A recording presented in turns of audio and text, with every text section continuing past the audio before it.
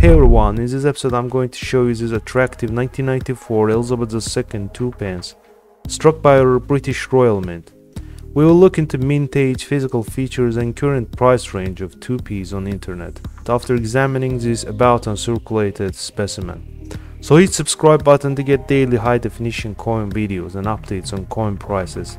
Obverse side displays crisply struck lettering surrounded with strong remnants of mint luster. Copper red traces are also seen around beaded circle and behind the diadem. Device elements are well preserved but we see slight die softness on hair and necklace of the Queen Elizabeth. Tiny carbon explosions are scattered all around the surfaces. We have one dark gray patina between D and numeral 1 of the date.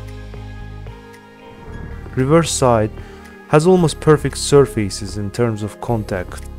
If it did not have some blemishes around the collar and didn't lose its mint luster, it could be definitely a superb gem. Only contact mark is a slanting scratch above the ribbon with lettering Ich, which is also barely visible. Strong mint remnants extend around device elements and letterings. Metal composition of this coin is copper plated steel. Total mintage is more than 531 million, therefore pretty common coin in UK. According to NGC price guide, even at superb gem condition like MS65, they're worth just $2.50. Proof variants, especially those that has been graded by NGC or PCGS, sell for much higher amounts. For instance, this 1994 2P at Proof 70 grade inside NGC slab was bargained for $72.44 on October 8, 2022 on eBay.